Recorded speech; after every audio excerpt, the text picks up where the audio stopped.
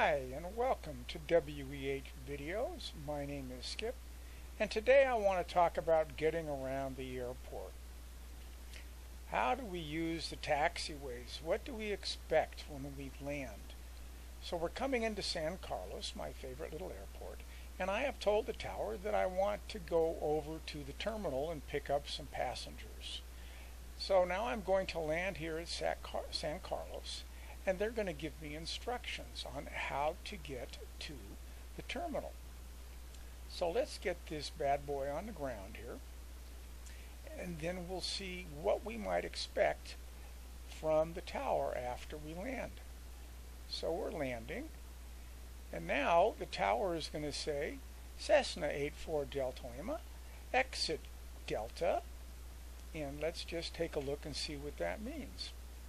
So before we even started our flight, we would have looked at the airport diagram for the airport we were flying to. So here is a diagram of San Carlos Airport. And we would have looked at this and we would have known what all this means. Here's runway 30. We just landed.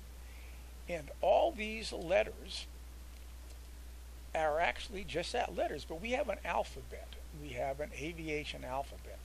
So it's Alpha, Bravo, Charlie, Delta, Echo, Foxtrot, and so on.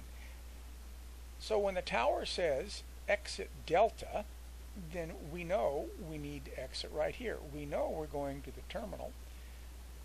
So I might get an instruction from the controller saying, Skyhawk, November 84 Delta Lima, exit Delta, taxi via Lima, Charlie, Mike.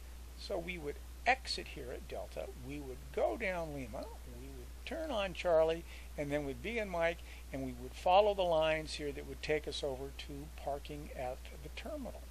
And it's really that simple. So where can you get more information on this? I suggest that you go to airnav.com and here you can find airports. You just type in the airport name or San Carlos, K-S-Q-L, and go. And here you will find all the information you need. You have here an aerial photo of the airport.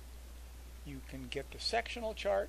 And right here we have the airport diagram and it says download PDF. And down here we have runway information. And one thing you really should get is the traffic pattern. Here it says traffic pattern left for runway 12 and traffic pattern is a right pattern for runway 30. It's nice to know these things. It'll make your simulator flying more fun if you actually fly patterns. You can come down farther and you can get your approach plates. So this is a great website for getting the information of almost any airport in the United States that you want to fly.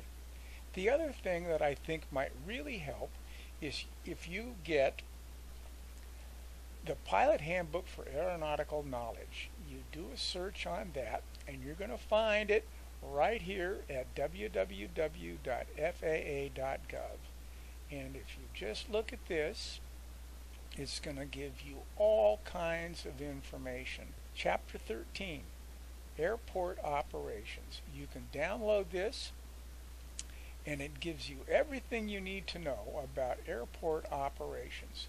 So I suggest that you download this and read through some of this. You will get a wealth of information. Right here on the cover here, it talks about traffic patterns, and what you need to do when you're landing at uncontrolled airports. So instead of just flying to an airport, lining up on the runway, and coming in for a landing, you can actually do the proper approach. You can enter a downwind, turn base, turn final.